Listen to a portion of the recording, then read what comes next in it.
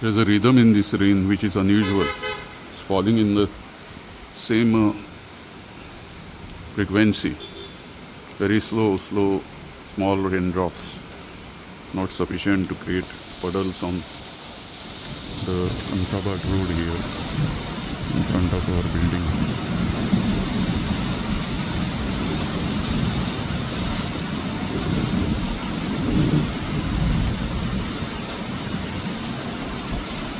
is a little uh, chill in there.